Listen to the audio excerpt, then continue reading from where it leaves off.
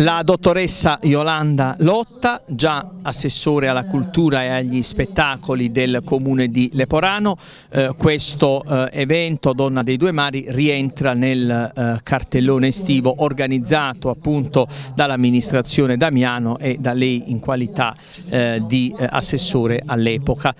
Un momento importante perché eh, si vogliono valorizzare appunto le eccellenze femminili del eh, territorio, molte delle quali sono leporanesi e quindi Leporano ogni anno fa da cornice a questo riconoscimento. Sì, il valore delle donne in questo momento diciamo, eh, storico che stiamo vivendo abbiamo voluto proprio portare avanti questo discorso di, iniziato con l'amministrazione Damiano e non potevamo lasciarlo così voglio dire ehm, insoluto. E, niente, ci sono questi riconoscimenti sia per quanto riguarda lo sport, sono talenti locali di Leporano, di Pulsano, di Taranto e poi ci sono anche questi, ehm, diciamo, questo premio all'eccellenza femminile per quanto riguarda l'imprenditoria eh, locale. Eh, abbiamo voluto valorizzare queste donne proprio con questo premio, premio di Donna dei Due Mari che eh, veramente è il fiore anche all'occhiello della provincia ionica.